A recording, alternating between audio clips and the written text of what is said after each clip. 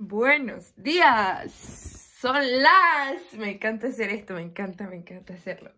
Son las 6 y 20 de la mañana y yo ya hice ejercicio, ya leí, ya medité, ya escribí mi diario y como ven eso hace un efecto muy bonito en mí porque me hace mucho más feliz en las mañanas. Muy a las 6 y 20 Estoy estudiando, amigos. Tengo que llevarme todas estas tazas de té para abajo.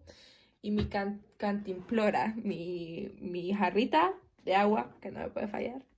Mientras estoy estudiando.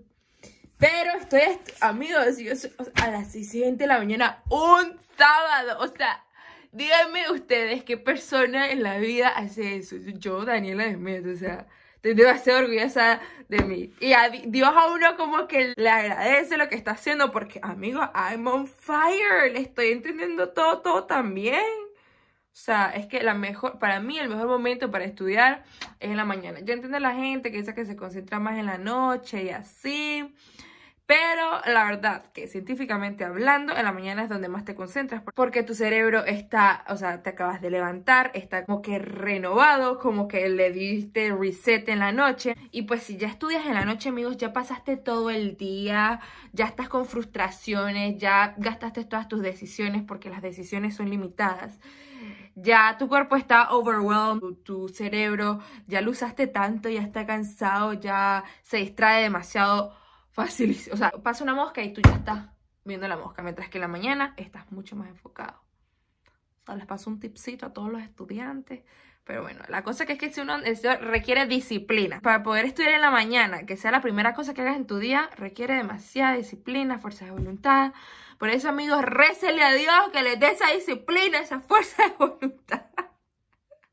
Pero va a ver que los rewards, o como se dice eso, lo que recibes de regreso, vale la pena vale la pena. Estuve esperando hasta que se hicieran las 8 y media de la mañana para que abrieran el supermercado e ir a comprar los huevos porque no tengo huevos para desayunar. Entonces me tuve que esperar hasta ahorita para desayunar. Pero ahorita me puse a la ropa del gimnasio para un solo, o sea, hacer la segunda ronda de ejercicio, hacer las pesitas, porque la mañana hice cardio. Entonces voy a desayunar eh, voy a esperar un ratito, una hora y media, algo así, luego me voy, me voy a entrenar. Me voy a arreglar estos pelos de loca. Ay, aquí esta chaqueta hace un buen que no lo usaba. 30 huevos, carne molida, un filete de res y un quesito para asar, que me dieron muchas, muchas ganas. con los huevos, ahorita en la mañana, qué deli.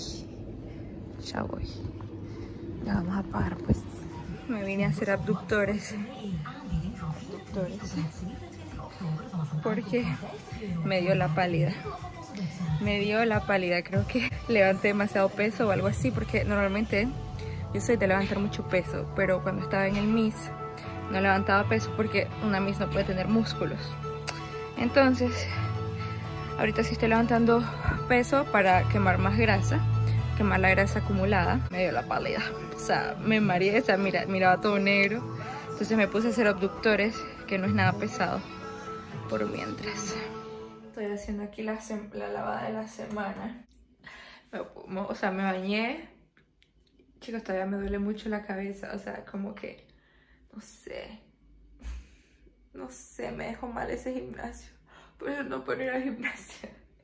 No, o sea, normalmente yo tengo, yo sufría de migraña, como que una vez a la semana me daba migraña, pero pues ahora ya no. Cuando empecé a comer mucho más saludable se me quitó eso. Eh, pero tal vez es un dolor de cabeza normal, pero pues creo que se me empeoró yendo al gimnasio. Así que ah, ahorita me tengo que hacer, o sea, tengo que lavar porque uno tiene que seguir siendo responsable porque si no después no tengo ropa para ponerme. y luego me hago algo de comer, aunque no tengo nada de hambre, pero es que si no me desmayo. Y uno aquí solo en esta casa, que si uno se muere, pues nadie se da cuenta. Entonces uno tiene que, que hacer algo.